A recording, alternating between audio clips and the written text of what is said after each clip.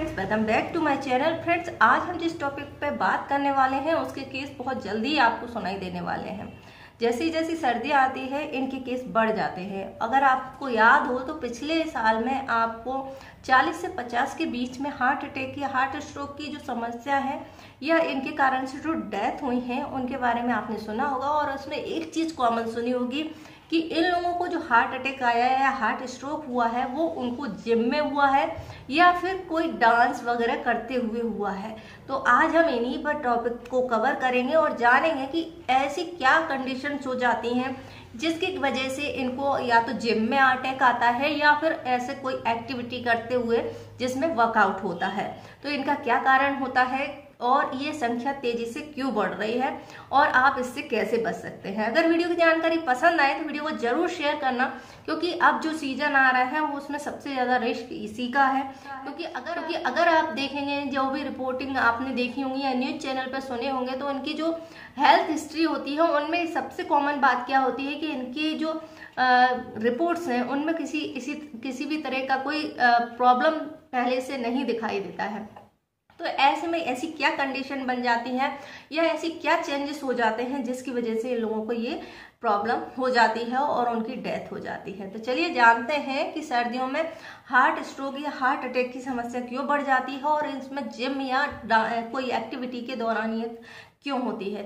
हालाँकि आपने भी एक शहर के बारे में सुना होगा जिसमें कि लगभग डेढ़ सौ से दो सौ लोगों को इकट्ठा कोई इवेंट हो रहा था और उसमें उन लोगों को सभी को कार्डिक अरेस्ट आया था। तो ये अगर आपने इसके बारे में नहीं पढ़ा है तो इसका आर्टिकल ज़रूर पढ़िए और शायद ये वुहान शहर का या फिर चीन का कोई शहर था, अभी मुझे नाम याद नहीं है और उन पर आ, मतलब सभी लोग एक जगह पर सेलिब्रेशन कर रहे थे और सभी को इस तरह का स्ट्रोक आ गया था। तो ऐसा कैसे हुआ था? और उसके बारे में मीडिया ने इस चीज़ को ज़्यादा वहाँ की मीडिया ने इस चीज़ को छुपा दिया था लेकिन आप इस आर्टिकल को ज़रूर पढ़ना क्योंकि ऐसा होना असंभव वाली बात है। इकट्ठा इतने सारे लोगों को अटैक नहीं आता है। खैर ये दूसरा टॉपिक है और आज हम बात कर रहे हैं कि इस तरह के केस क्यों बढ़ रहे हैं? तो फ्रेंड सबसे पहली बात यह है कि आजकल की जो जनरेशन है उनमें अपनी फिगर को लेकर या फिर अपनी बॉडी शेप को लेकर के एक पैरामीटर तय कर रखा है कि एक आदर्श शेप क्या होता है, जो कि पहले नहीं था। तो इसको लेकर के अक्सर इस चीज़ को लेकर उन्हें गिल्ट होती है। दूसरी चीज़ होती है हार्ट स्ट्रोक या हार्ट अटैक की जो संभावना है, उन लोगों में ज़्यादा होता है, जो लोग काफ़ी इंट्रोवर्ट होते हैं, जो अपनी भावनाओं को बाहर व्यक्त नहीं करते। ये एक पुराना रिसर्च है, लेकिन अभी जो यंग एज में होने वाले अटैक की बात करें तो इनमें सबसे ज़्यादा अगर रीजन देखा जाए तो जिम ज्वाइन करने वाले लोग या फिर कोई ऐसी डांस वगैरह करने वाले लोगों को ये दिक्कत हो रही है। तो इसका रीजन क्या है? इसका रीजन होता है कि हाँ जो लोग भी जिम ज्वाइन कर रहे हैं, पहले तो वो ऐसी जिम पर चले जाते हैं जहाँ पर कोई प्रोफेशनल ट्रेनर नहीं होता है, जिनके पास कोई डिग्री नहीं होती है। बस मशीनें रखकर उन लोगों ने खोल रखा है। इसका दूसरा रीजन होता है कि अगर आप कोई प्रोफेशनल या अच्छे जिम या सेंटर में जाते भी हैं तो कुछ टेस्ट हैं जो आपको पहले ज़रूर करा लेना चाहिए और उनसे पहले आपको डॉक्टरी सलाह ज़रूर ले लेनी चाहिए, तब आपको ये जिम ज्वाइन करना है। तो सबसे पहले हम जान लेते हैं वो कौन से टेस्ट हैं जो आपको ज़रूर करा लेना चाहिए। इनमें अगर हम बात करें तो कुछ टेस्ट हैं जो आपको ज़रूर करा लेने चाहिए। इनमें सबसे पहले होती है आपकी ब्लड रिपोर्ट जिसमें कि आपको पता चलेगा कि आपको किसी तरह का इन्फेक्शन है या फिर आपको आ, शुगर की बीमारी है या फिर आपको कोई आ, कोई दूसरी कोलेस्ट्रॉल वगैरह को लेकर के कोई प्रॉब्लम तो नहीं हो रही है। तीसरा नेक्स्ट होता है ईसीजी का टेस्ट जो कि आपके हार्ट के से रिलेटेड होता है। और ये टेस्ट भी बहुत इंपॉर्टेंट होता है। इसके बाद आपको लिपिड प्रोफ़ाइल टेस्ट भी कराना ज़रूरी होता है। इससे और इसके बाद होता है स्ट्रेस टेस्ट तो ये सारे टेस्ट कोई भी जिम ज्वाइन करने के पहले आपको करा लेना है। नेक्स्ट चीज़ होती है कि अगर आपने कोई जिम ज्वाइन किया है तो वहाँ पर जो प्रॉपर चार्ट चार्ट रहता है उसको ज़रूर फॉलो करें। और अपने मन से जो सप्लीमेंट्स आप लेते हैं आ, होता यह है कि हम जल्दी से जल्दी बेहतर रिज़ल्ट पाना चाहते हैं।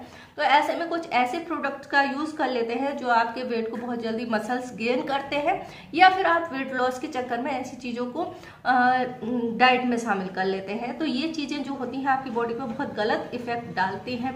नेक्स्ट रीजन होता है इंटेंस एक्सरसाइजेस करना। क्योंकि हम जल्दी से जल्दी रिज़ल्ट पाना चाहते हैं और कड़ी से कड़ी मेहनत करते हैं, चार चार घंटे तक करते हैं, जिसकी हैबिट आपकी बॉडी को नहीं होती है। अचानक से आप अपनी बॉडी को स्ट्रोक दे रहे हैं दर्द दे रहे हैं तो इसका असर आपको इस तरीके से देखने को मिलता है। अब हम बात करते हैं।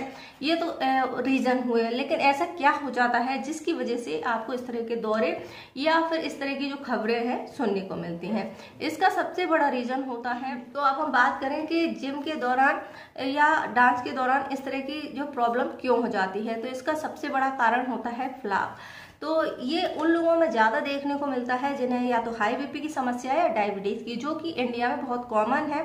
और इसके लिए प्रॉपर आपको मेडिसिन लेना चाहिए टाइम टू टाइम और अपनी सेहत के हिसाब से ही आपको वर्कआउट करना चाहिए। तो इसमें एक जो फ्लाक होता है, उसका नाम होता है थेरोस्क्लोरोटिक जो फ्लाक होता है, वो हमारी धमनियों में होता है और जब हम कोई बहुत हैवी एक्सरसाइज करते हैं या डांस करते हैं, जिसके कारण से हमारे सीने पर दबाव पड़ता है ब्लड सर्कुलेशन तेज हो जाता है, जिसके कारण से ये प्लाक जो होता है फट जाता है या वहाँ की जो धमनी है वो फट जाती है और इस तरह के हाथ से हो जाते हैं।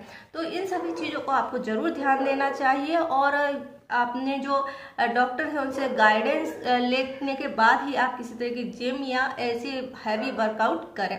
तो आई होप आपको ये जानकारी पसंद आई होगी और जानकारी पसंद आए तो इसे ज़रूर ज़्यादा से ज़्यादा शेयर करें और अगर आप भी कोई जिम या इसी तरह के हैवी वर्कआउट करते हैं तो अपने डॉक्टर से सलाह ली है या नहीं ली है, या हमें ज़रूर कमेंट्स बॉक्स में बताएँ। और अगर नहीं ली है तो एक बार ज़रूर उनसे कंसल्ट करें। ये सारे टेस्ट जो मैंने बताए हैं, उनको ज़रूर कराएँ और उसके बाद आप अपनी जिम या जो भी वर्कआउट आप करते हैं, वो कर सकते हैं। तो आई होप वीडियो जानकारी पसंद आए तो वीडियो को लाइक करें शेयर करें और हमारे चैनल को सब्सक्राइब करें। वीडियो देखने के लिए आपका धन्यवाद।